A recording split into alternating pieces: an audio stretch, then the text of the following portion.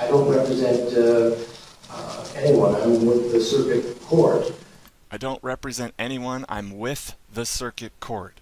Objection clarification. Are you saying that you represent the circuit court? And if so, who do they who does that entity represent? This is a word game he's playing right here.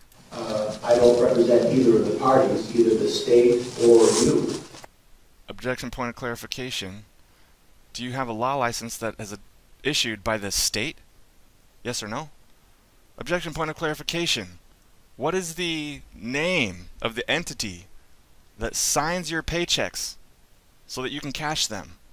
It's the state of Oregon, motherfucker. You represent corruption. You represent tyranny. You represent theft, violence, and murder, ultimately, you and your ilk, your kind, your parasitic, leech like behavior on society, Judge. That's what you represent, sir.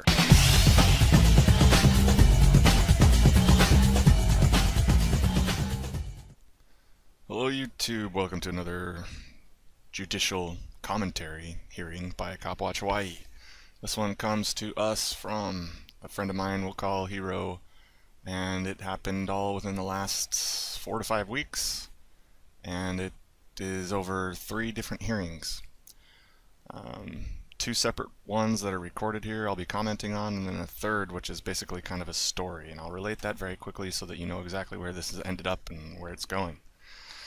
So, this uh, hero of ours has been so effective, so effective, and so terrifying to these bureaucrats that the judge actually coordinated for nine armed police to enter the courtroom at a coordinated point in time and line up against the wall in a tactic of intimidation to get Hero to quit asking for clarifications of this jurisdictional issue and to quit effectively pointing out the illogical, irrational, unethical, and criminal behaviors of the judge. It, was quite shocking to hear that story. I may add him on here at the tail end to give his own version. We shall see. In the meantime, hearing one is coming up, followed by hearing two, and we'll take it from there. Here it goes. Oh, just some setup. Our hero was at an airport and asked to avoid certain invasive security measures. He was a little unaware of the reality of airports and thought that this world would be reasonable, and it was not. So after he was, he didn't recognize the verbal cues that the airport security were giving him that let him know he was going to be arrested soon. He was arrested. Um, and strip searched as part of that arrest because it happened at an airport. So I'm not going to comment on his future actions. Let it just be known that this judge will very much be held responsible. I'm kind of taking it on as a personal matter to ensure that happens with 100% effort on my part, and I'm thousands of miles away. That's how heinous this judge acted. And uh, I guess that's all I can say about that. So no comment, just know that these these issues will be addressed and I'll be following up on this in future videos to make sure this judge and this prosecutor get confronted with the full weight of both other components of the bureaucracy as well as the full weight of public opinion. I hope they both enjoy that. Welcome to the 21st century. I don't know one way or the other. Apparently, uh, Mr. Wallace had some reason to be concerned about that. And the judge is bringing up a pre-coordinated attack by him and the prosecutor. They're about to report that the hero here has been recording these hearings and posting them on YouTube. Rather interesting, right? Remember, this is all happening on hearing number one. Well, it's number two for him. He got bulldozed in the first attempted arraignment.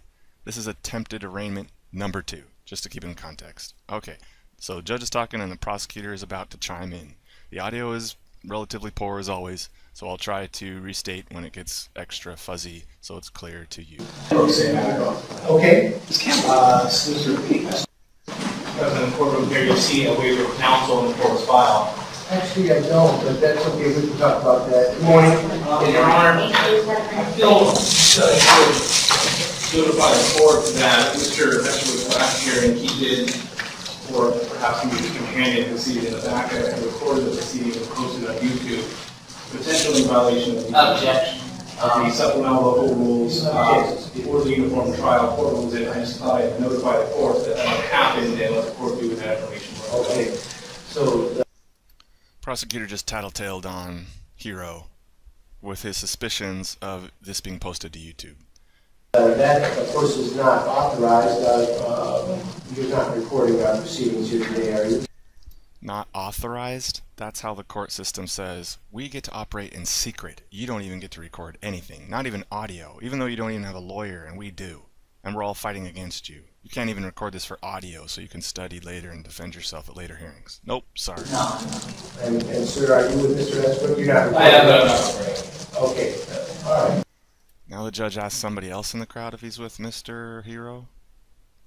What business of that is his? I also object to the um, statement that, uh, that my last recording or the last hearing was um, recorded and posted on YouTube.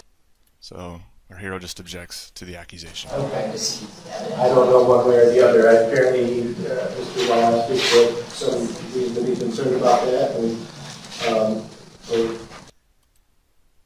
Judge just says the prosecutor should be uh, seems to be concerned about it, but I don't I don't know why the judge needs to entertain this any further.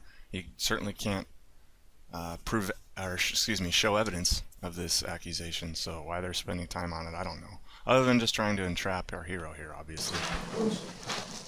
so be it. I'll, uh, As long as they stop happening, that's the main thing. You should be case, Judge. So they abandon that and call the case. we do. Um, this matter of State v. Robert Estabrook, 160 R 11512.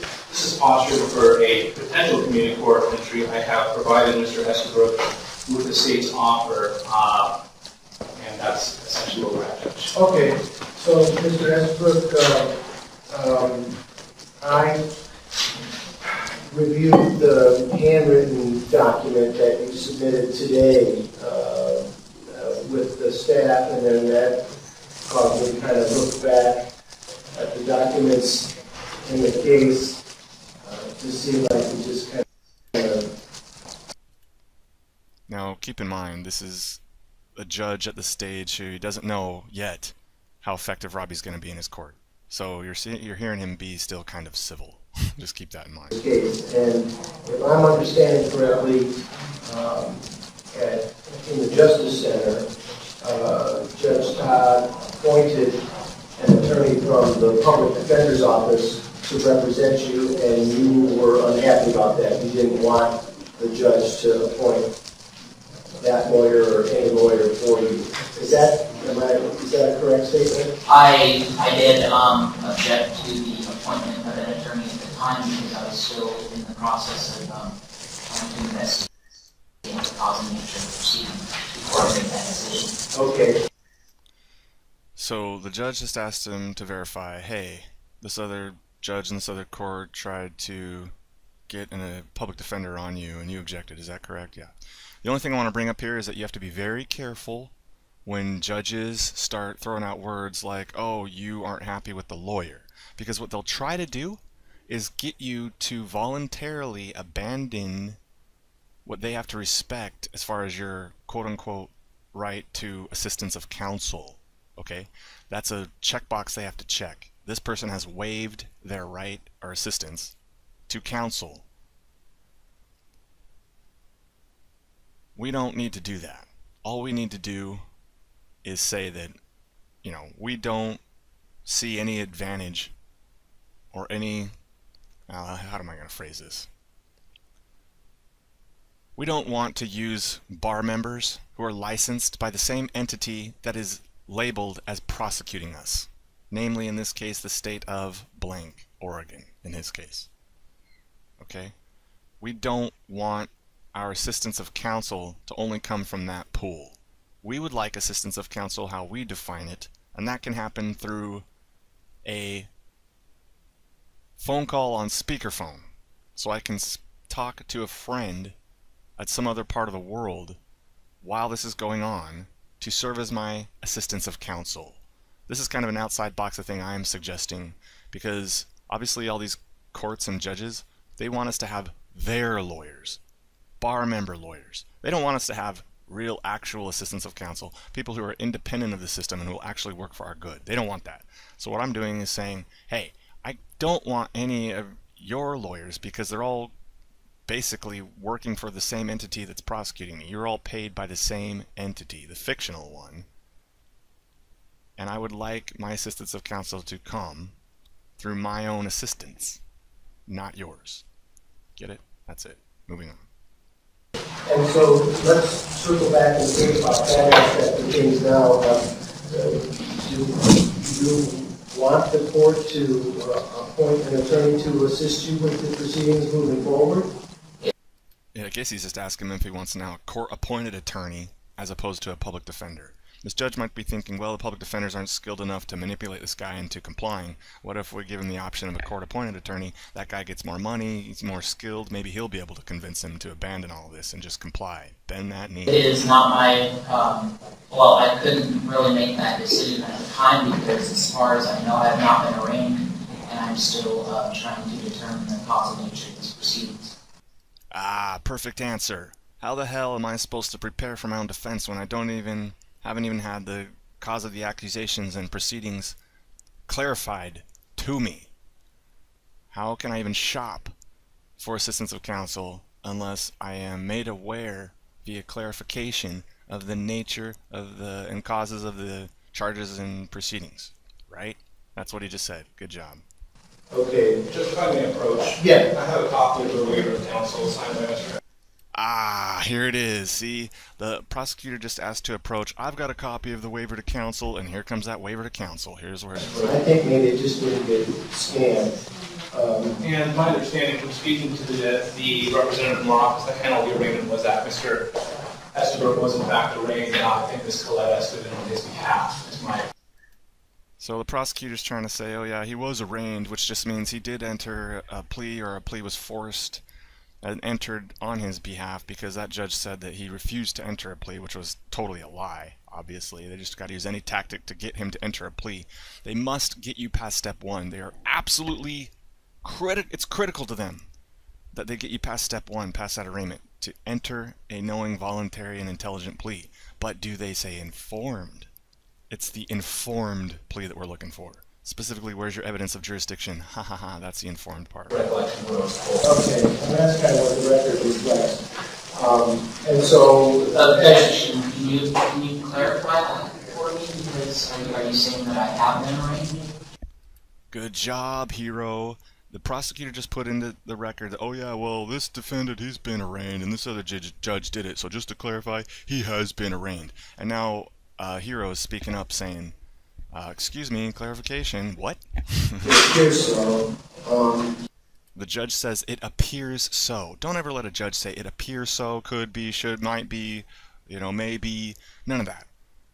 Clarification does it appear so, or is it actually a fact?